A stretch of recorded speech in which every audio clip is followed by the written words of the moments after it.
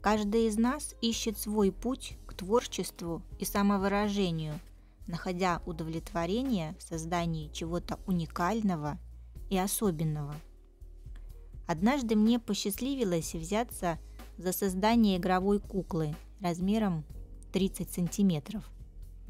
И это стало настоящим вызовом и приключением для меня. Сегодня я хочу поделиться с вами этой историей и уверена, что она вас вдохновит.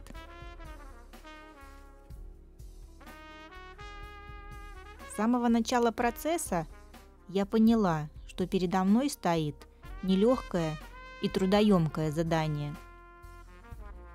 Создание игровой куклы требует не только технических навыков, но и вложения частички души и тепла в каждый шов, в каждую деталь.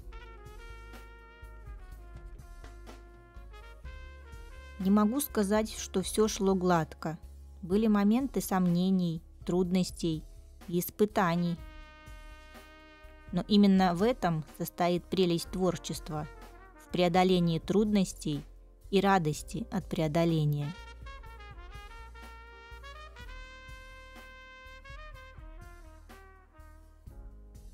Каждый день я уделяла этой игровой кукле часть своего времени и внимания – стремясь придать ей уникальность и особое очарование. По мере того, как кукла приобретала форму и облик, я чувствовала, что передо мной рождается настоящее произведение искусства, которое будет радовать не только меня, но и других. Наконец кукла была готова. Смотреть на нее – это было как встреча с давним другом, полной взаимной привязанности и понимания. Ее утонченные черты лица, мягкие ткани одежды, аккуратные детали тела – все это создавало образ, который наполнил меня гордостью и счастьем. И хоть этот творческий путь не был легким, каждый шов, каждый момент был исполнен радости и удовлетворение от творчества.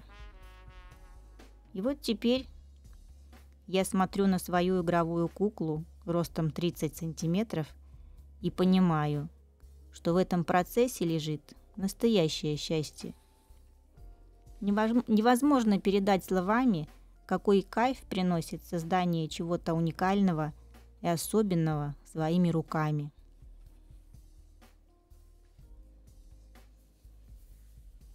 Так что пускай эта игровая кукла станет символом моего творческого пути, наполненного трудностями, испытаниями и радости.